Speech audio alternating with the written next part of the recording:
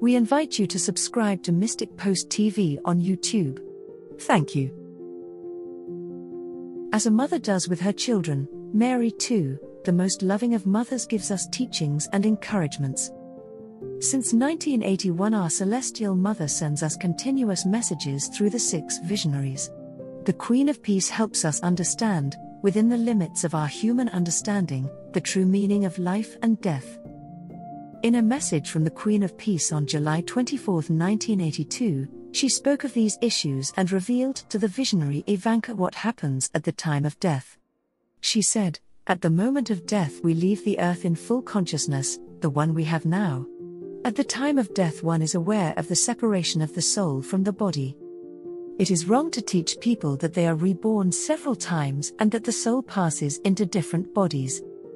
One is born only once, and after death, the body decomposes and does not live again. Each man will then receive a transfigured body. Then on November 6, 1986, Our Lady gave us specific instructions as to our duty to help the poor souls who find their way to purgatory at the time they pass on to the next life. She said, Dear children, today I wish to call you to pray daily for souls in purgatory. For every soul, prayer and grace is necessary to reach God and the love of God.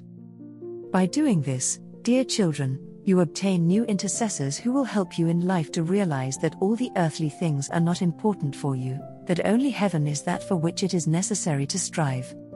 Therefore, dear children, pray without ceasing that you may be able to help yourselves and the others to whom your prayers will bring joy. Thank you for having responded to my call. Our Lady is calling.